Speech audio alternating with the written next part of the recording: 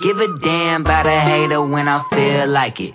Not today, not today, not today, not tomorrow. Get out my way, please. I'm trying to get paid. Not today, not today, not today, not tomorrow. Get out my Hi guys, welcome back to my channel. It's me again, Lenzel Blair USA. So guys, today I'm gonna cook um, chicken tinola. So ito yung mga ilalagay ko sa chin aking tinolang manok. Ayan. Um, this is garlic at lalagyan ko din ng tomato and then ginger at saka onion at saka serrano pepper at saka meron akong chayote. Ayan. At lalagyan ko din ng konting baby potato. Ayan. At saka of course, meron din akong malunggay. Malunggay. Linagay ko sa frozen para pang tinola. Ayan guys. Samahan niyo ko guys. Pakita ko sa inyo kung paano ako magluluto ng chicken tinola. I'll be back later.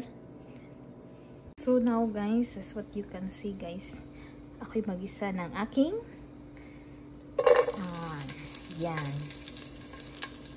Bawang. Ito yung bawang ko guys. Yan.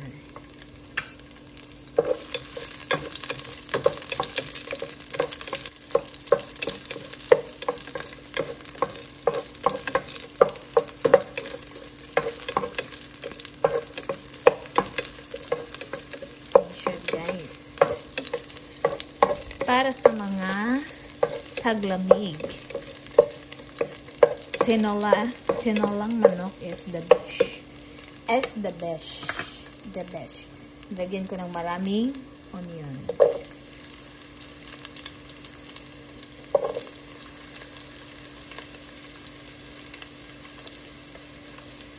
Ayan. Diba?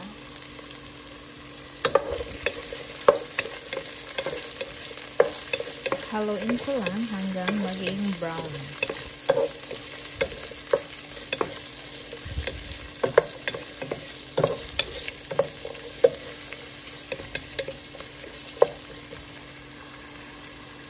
Ayan siya, ang bango. Tsaka ko na ilagay yung ito yung ginger. Ayan, yung ginger guys. Ayan, yung ginger oh pang patanggal ng ano, langsa. Ang tawag ng langsa. Hindi ko alam eh. Nahirapan ako sa kalisod ng Tagalog. Ayan. Hinagyan ko ng ginger. Para talagang ano siya, tinola. Pag walang, pag wala itong ginger, hindi siya matawag na tinola. Ewan ko kung anong tawag ko. Walang ginger. Charot. Charot lang ha. So, ngayon, ito yung chicken ko. Meron din akong chicken cubes. Lagay ko na tong aking tomato. Lagyan ko ng tomato eh. Kasi gusto ng asawa ko yung tomato. Yan. Ayan siya guys. Na-fill ko na. Ang bango-bango na. Makikita nyo guys, ang ano na, parang luto na. Charot lang. At ilalagay ko na ang aking chicken. Laki ng paa oh. Ayan.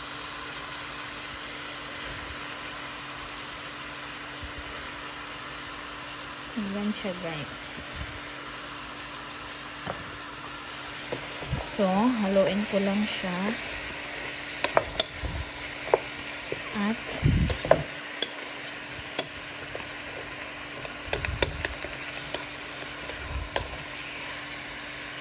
lutuin ko lang siya hanggang medyo ano siya. At lalagyan ko ng para hindi siya malangsa. Tawag ng malangsa sa Tagalog. Lalagyan ko ng pepper. Ayan. At, ayan. Kuha lang ako ng at tatakpan ko, bal- balikan ko yan maya-maya. Ayan siya. Bye! See ya later! So now guys, as what you can see guys, lumalabas yung dugo. Ayan. Ayan yung gusto ko. Lalabas tong mga dugo. Ayan. Di ba? Tingnan nyo guys. Ayan. Tsaka mabango na to. Ayan. Lumalabas yung dugo. Okay, yung gusto ko. Tapos bago ko, lalagyan ng water. Ayan na. Maya, maya lalagyan ko yan ng tubig. Ito na siya guys. Titingnan natin. Ayan, wala nang dugo. Ayan, ito yung gusto ko. Yung ano na siya, medyo malambot na. Tsaka ko na lalagyan ng sabaw. Ayan, yung nag-oil siya o malabas yung mantika niya. Ayan, oh. Daming ano dito. Ayan. Parang masyarap na, no? Tsaka ko na siya lalagyan ng water. Ayan. Lalagyan ko na siya ng 2 cups of water. Depende sa inyo kung gusto nyo ng maraming tubig. Lalagyan ko ulit at tsaka pahinaan ko yung apoy. Yan. Ang aking chicken chanola. Babalikan ko kayo maya-maya at ilagay ko yung chayote. Ayan. Palambutin lang natin at mag-boil siya. Hello guys, ayan, i-check natin yung tinola natin. Ayan, tatanggalin ko lang yung mga fats. O, diba? Dami, oh. Dami, guys, oh. Dapat kay, ayan, oh. Dapat kunin natin yan. Para, ano yun, ano to eh, fats. O, diba?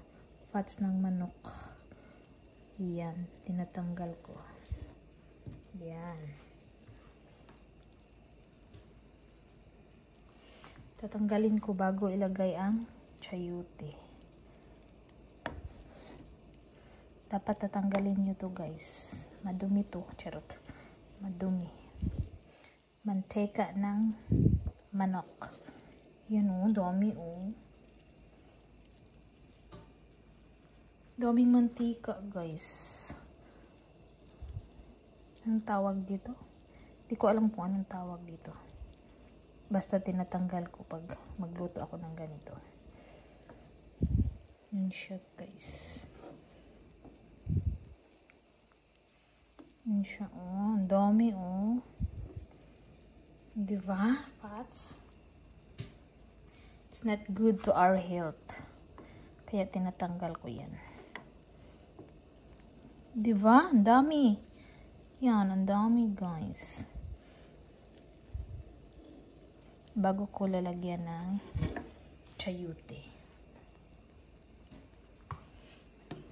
Ayan siya. Ayan na siya guys. Medyo ano na siya. Medyo yan.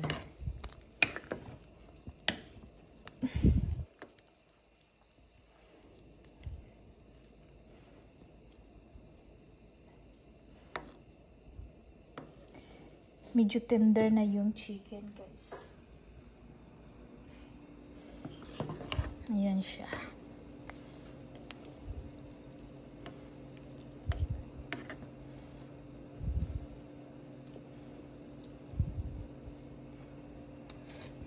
Lalag ilalagay ko na yung aking chayote ilalagay ko na ba? Ito na lang muna. Yung tatlong sirano Tsaka, baby potato. Gusto ng asawa ko eh. Kaya, inag, ilalagay ko na lang din. O, diba? So, babalikan ko yan maya-maya. Palambutin ko muna. Palambutin ko ng palambutin. Ayan. So, ito na siya guys. Ilagay ko na yung aking chayote. Chayote, baby. Chayote, baby. Ayan, chayote. Madali lang yan lutuin. Takpan ko lang ulit. Babalikan ko yan. Let's eat, guys, ang aking chicken tinola. Ayan, guys, oh. Chicken tinola with malunggay. Ayan. Chayuti with malunggay. Ayan. Tara! Yun! Tara, kain tayo guys. Tara!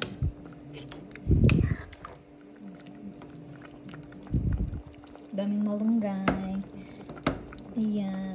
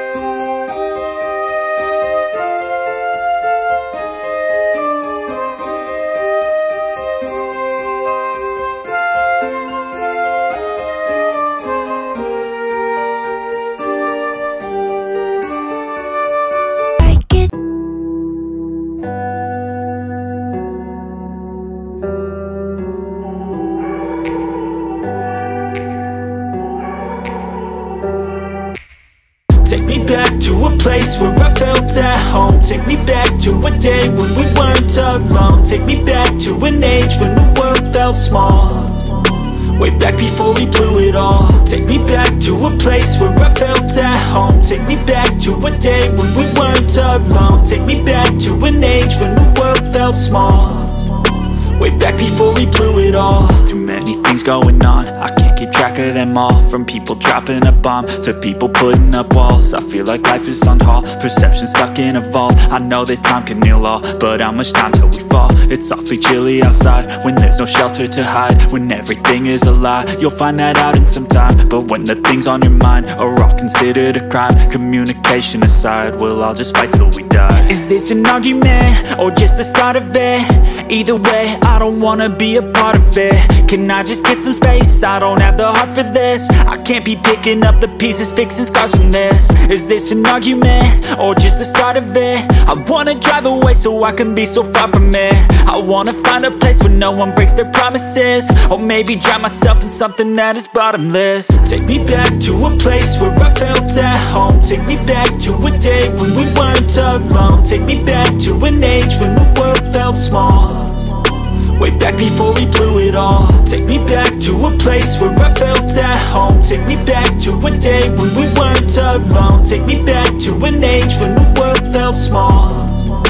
Way back before we blew it all. I know that things seem bad, but they could be much worse. There's always someone else who has a greater curse A greater thirst, a hunger, pain, and mercy. Just find whatever you got and try to be thankful first. I wanna feel again, I need a couple friends. I never really understood just how the story ends But I can feel it's tense, don't know the consequence The volatility of life, my only confidence. Is this an argument, or just the start of it? Either way, I don't wanna be a part of it. Can I just get some space? I don't have the heart for this I can't be picking up the pieces, fixing scars from this Is this an argument? Or just the start of it? I wanna drive away so I can be so far from it I wanna find a place where no one breaks their promises Or maybe drown myself in something that is bottomless Take me back to a place I get dirty thoughts about you They get worse when